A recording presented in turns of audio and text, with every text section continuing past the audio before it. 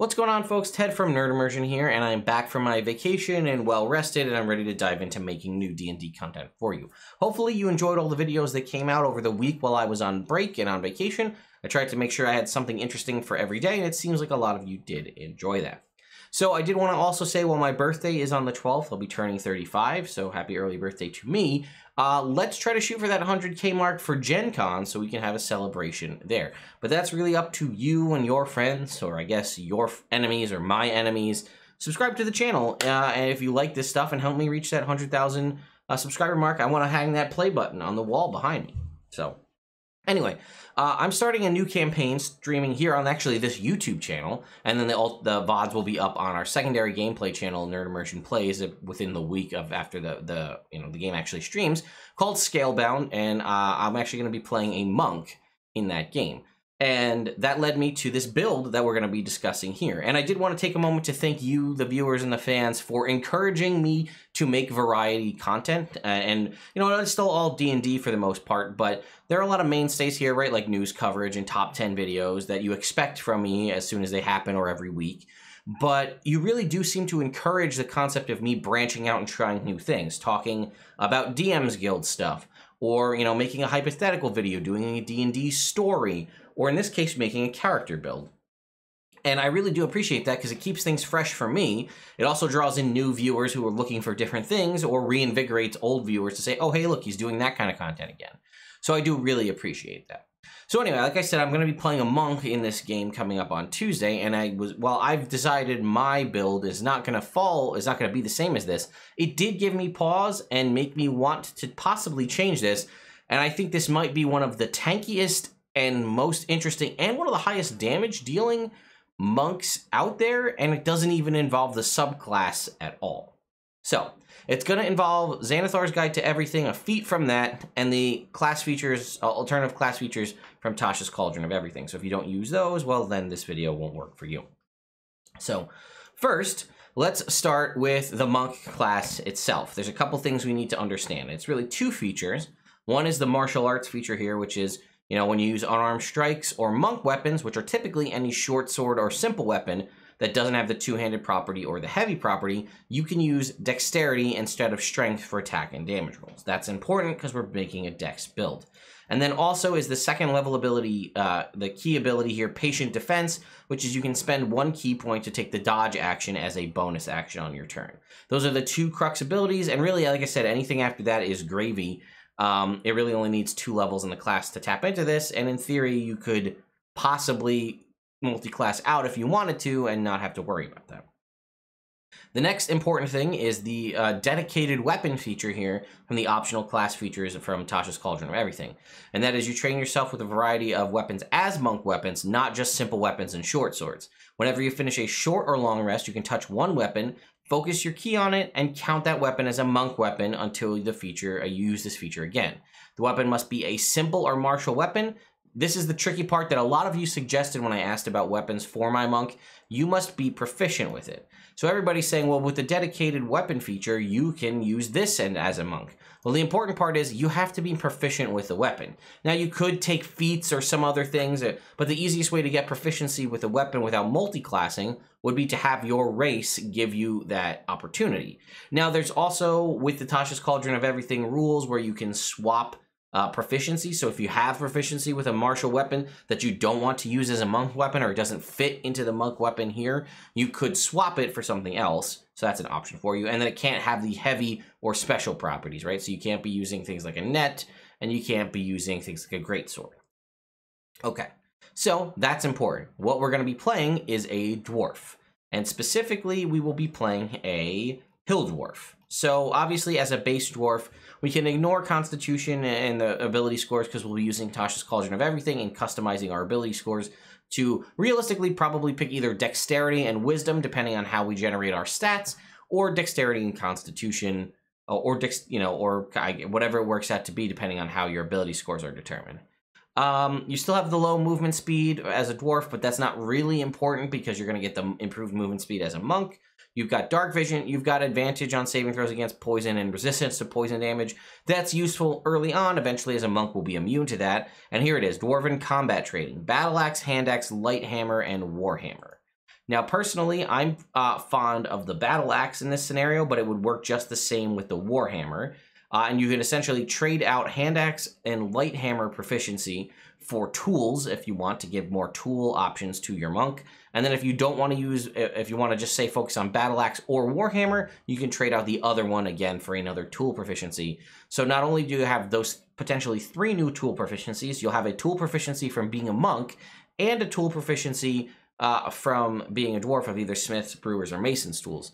So you're looking at anywhere between one, three, um, yeah, you're pretty much without dealing with your background at all. You've got five tool proficiencies here. Remember, that could be poisoner's kit, that could be thieves' tools. You could have a lot of variety there. And then again, we're going to focus on the hill dwarf. So again, the wisdom normally increases by one, but with Tasha's Cauldron of Everything, we can swap that to be anything.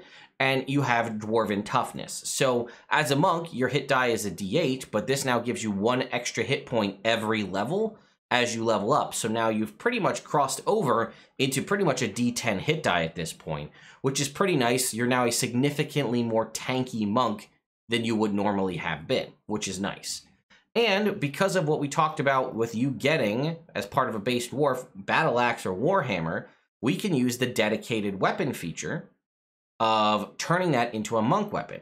And what's nice about the, let me go back to the, uh, doesn't actually link us to the battle axe, does it? No um, which I forgot to do. So let me go ahead and pull up equipment real quick from the player's handbook, and uh, we can take a look at the weapons. So if we scroll down to a battle axe, we can see that a battle axe is a D8. It does not have the heavier special properties, but what's important is it is versatile in that it can do a D10. So with the dedicated weapon feature, you can be a monk at level 2 who is a dwarf, who is more tanky and survivable than other monks because of your extra one hit point. You now can wield a two-handed, you know, take your one-handed battle axe and wield it two-handed, and you can be doing a d10 damage from level 2 as a monk. And it's dexterity based because of the dedicated weapon feature comboing with your martial arts feature. Which is pretty nutty because to get that kind of damage on a monk with, say, an unarmed strike, you have to go all the way to level 17 in Monk to be able to punch for a D10. Whereas at level 2, even if you do the funky shenanigans by using the fighting style feat to get yourself access to uh, the unarmed fighting style from the fighter, that still only caps you at a D8. Now again, you could potentially do that as well, and your unarmed strikes would deal a D8 or a D6. Uh, because again, you can always attack with your attack action using the axe, but for your bonus action attack or your flurry of blows, you are limited to uh, only unarmed strikes, but we have a better use for our bonus action. So, just to reiterate, you can be wielding your battle axe, which I feel like every time someone has a versatile weapon like this, they never really use the versatile property of it because they're always using the one-handed weapon with a shield. Well, as a monk, to benefit from your unarmed uh, armor, you know, your unarmed, uh, what is it called? Unarmored defense, your uh, uh, yeah, your your ability to have that dexterity plus wisdom added to your uh, your AC, you can't use a shield, so you couldn't get any benefit from that. So why not wield the battle axe two handed and do that D10? But we're a dwarf. What does that mean? It gives us access to this dwarven feat from Xanathar's guide, Dwarven Fortitude. You can increase your constitution score by one, and whenever you take the dodge action in combat, you can spend one hit die to heal yourself. Roll the die, add your constitution modifier, and regain a number of hit points equal to that total. So that's pretty decent. Your hit die as a monk is a d8. You have potentially a pretty decent constitution modifier, it depends, and you regain a number of hit points equal to that total. Well, as we said with the monk, for one ki point, we can patient defense to take the dodge action as a bonus action. So now, on our turn, when we're at least level 5, we could swing with our d10 battle axe to do 1d10 plus our dexterity modifier damage twice. And if we wanted, we could take uh, spend one ki point as a bonus action to take the dodge action, and then as part of that, triggering Dwarven Fortitude, allowing us to roll our hit die, add our Constitution modifier, and heal that amount. So that's something we can do. Now, we are limited to the number of hit dice because remember, our ki points come back on the short rest, but our hit dice are limited to a long rest. You only get half of your hit dice back on a long rest. but that could be a very big heal for you. And I wanted to point out that the durable feat technically would come into play here if you took this as well by allowing you to limit uh, the number of hit points you regain when you roll a hit die is limited to only be twice your constitution modifier, but that's not as important as this item. The uncommon, which I will point out is an uncommon item, and normally I've seen these thrown out pretty frequently. If you're playing in pre-written campaigns, I've seen them come up a bunch. But the uncommon magic item that does require attunement, the Periapt of Wound Closure. While you wear this pendant, you stabilize when you're dying at the start of your turn, which is nice. But what we want it for is whenever you roll hit dice to gain hit points, double the number of hit points that are restored. So as a reminder, we can, as a bonus action, uh, whenever we take the dodge action by spending one ki point to do patient defense, roll a hit die, add our constitution modifier together, and then with the periapt of wound closure, take that number and then double it, and that is the number of hit points we could heal, potentially, I'd say every turn, but obviously we're limited by hit dice, as a bonus action. So let's say, we'll say you happen to get a 16 constitution. That's not unreasonable. So that's a plus three bonus. So we'll take the average roll of your hit die being a four. That is four plus your constitution modifier of a three. So we have seven. With the periapt of wound closure, we just healed uh, 14 hit points as a bonus action on our turn while we still had our full action available to it and our base movement speed that we would normally have for being a monk. And like I said, all of this involves a feat, uh, a couple of class features that you could technically have access to, one uncommon magic item, and we haven't even touched on any of the subclasses. So you have basically all of these monk subclasses or homebrew or whatever else options for you to change this up however you want. I don't particularly see Kensei Monk being a great option for you because you got the weapon you needed from being a dwarf and using the dedicated weapon feature. So I would probably branch out and try something else. But you have a ton of options for you. Like we said, you're going to be a high dex build. You probably could have access to thieves tools relatively easily, so you could be a pseudo rogue.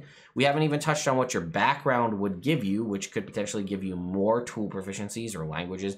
It's just a very good, in my mind, all around character build. I know people sometimes have a problem where they don't like monks or they hate monks.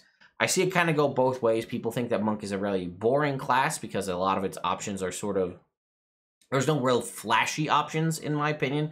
Those kind of come from the subclass, depending on the one that you choose. But you don't really have any dead levels as a monk, which is nice, where you're gaining a feature all the time. And you get a lot of good passive things, which I also enjoy. And, you know, kind of one, usually one of the biggest problems people have with the monk is the low damage output, right? Usually dealing, if you're stuck with unarmed strikes or something like that, you're either wielding a quarterstaff, which is not necessarily the most interesting weapon, depending on how you feel about it, or you're doing D4 punches.